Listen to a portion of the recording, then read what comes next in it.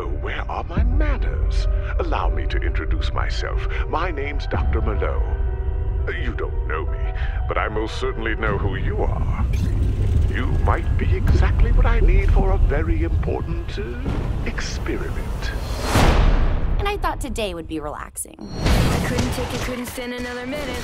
Couldn't bear another day without you in it. All of the joy that I had known for all my life was stripped away from me the minute that you died. Good riddance. I wasn't dreaming